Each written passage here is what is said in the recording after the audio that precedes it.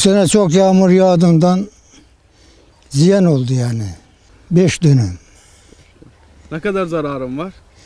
Nasıl diyelim Matuk?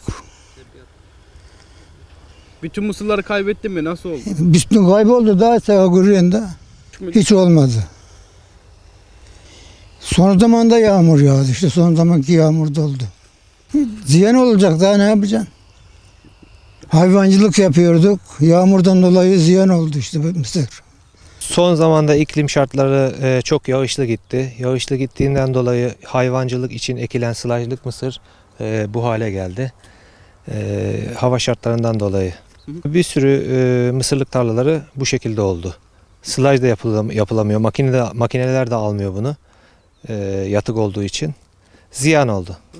Valla o kessen kesilmez, biçsen biçilmez. Yani tane de olmaz. Ya işçi e, bulup tane olarak e, mısırını kırdıracağız. Ama e, işçi sıkıntısı da var. İşçi e, işçi yok memlekette. E, şey de pahalı, işçilik de pahalı. Yani makineyle yapılacak iş ele kaldı. Yok, bu yıl e, çok yağmur yağdığından dolayı e, mısırlık yattı.